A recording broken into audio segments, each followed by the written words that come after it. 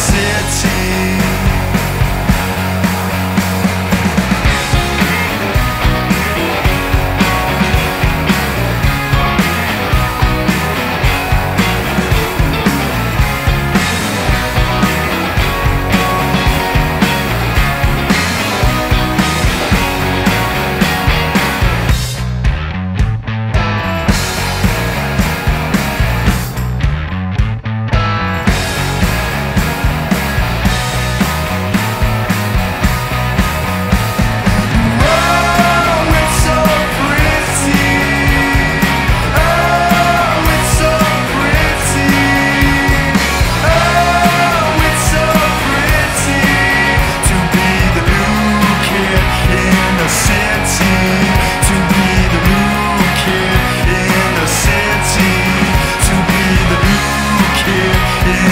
city to be the new kid in the city.